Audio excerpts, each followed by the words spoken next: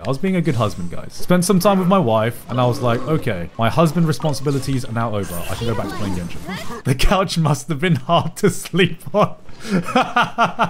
so yeah, had a had a very wonderful dinner. We went to an Italian restaurant. I don't know if you saw my tweet about it, but we had a very very nice dinner. We had Italian, and initially we ordered a starter and a large portion of pasta for both me and Sydney. And like, I know how Japanese portions are. Japanese portion sizes are fucking small. If it's like a foreign cuisine, normally the portion sizes are way smaller than what you'd get in other countries. Especially if that country is America, who gives you a family size as like the default option. Now, we knew this, so me and Sydney both ordered the large size. And our waiter looks at us and panics. I could tell that she was worried, so she goes off and goes talk to her manager. And and then she comes back. Already's just like, oh, Samir-san, oh, Samir-san. And she starts like explaining to us. She wants to confirm that we understand that the portion sizes that we ordered are recommended to share between three to four people.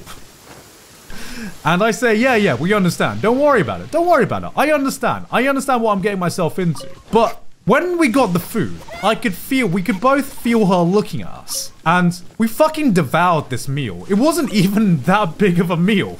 If I were to put it in portion sizes in England, it would be a medium-sized pasta meal. But I still felt like a fucking fat ass. Because in Japan, that's a fucking big size meal. And I felt like a fucking fat ass because when she...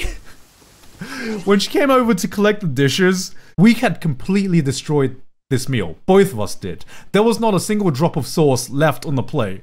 And she looks at the plate and she looks at both of us and goes, Oh, I see you really enjoyed the meal. And I'm like, Shut up. I know. I'm a fat ass, okay? I know, okay? You think we just ate the equivalent of what three to four people should eat? I know. You don't need to say anything. You don't need to say anything, all right? All right? I don't need your judging eyes right now. And then she asked uh, if we wanted, she asked if we wanted dessert. And we were just like, no, we don't want to.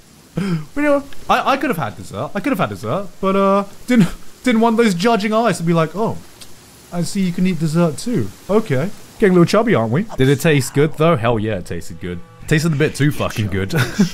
Yo, you okay? Stop laughing. Oh, did I left the bathroom? Sorry.